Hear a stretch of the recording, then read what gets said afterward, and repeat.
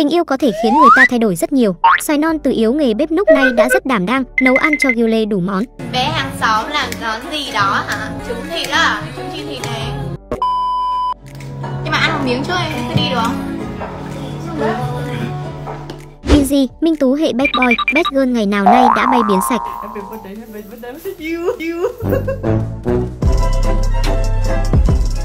Hai thiếu gia thượng lưu lột xác hoàn toàn, vì vợ đẹp gì cũng dám làm.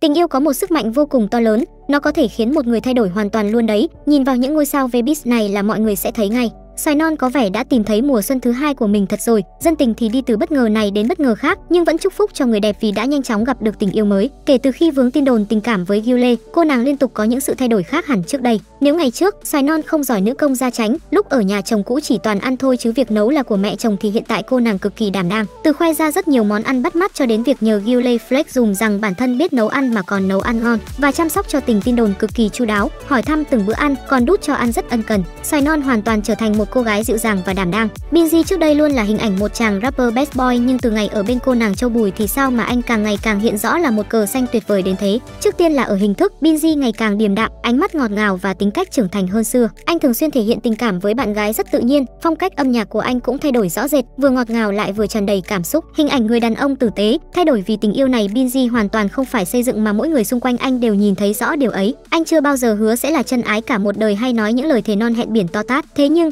cách anh sưởi ấm cho tâm hồn tổn thương của cô, yêu cô hơn tất cả nỗi đau đã thành hình. Minh Tú của trước đây là một cô gái nổi loạn, chính chủ từng thẳng thắn cho biết mình là bad girl. Thế nhưng hình ảnh đó đã lùi vào dĩ vãng xa rồi, bởi vì sau khi lấy chồng chân dài này đã hoàn toàn khác. Cô nàng tươi tắn, tích cực, ngoài sự nghiệp thì luôn dành chọn thời gian cho gia đình, học nấu ăn, vào bếp tạo ra những bữa cơm tình yêu vô cùng ngọt ngào và đầy tâm huyết cho chồng, thậm chí còn nấu ăn cho cả mẹ nữa. Những món ăn của Minh Tú thì chay mặn đủ cả, màu sắc phong phú, Người đẹp cũng rất chịu khó tìm tòi để tạo ra những công thức đặc biệt cho mình. Ngoài những lúc làm việc thì trang phục, phong cách của người đẹp này cũng hiền hơn hẳn, nhiều khi nhận không ra, nhưng mà đáng yêu hơn là chắc chắn. Vậy mẹ cũng muốn Tú nấu cho mẹ một bữa ăn gia đình hạnh phúc vậy đó. Rồi mẹ nói con thấy con có lỗi quá.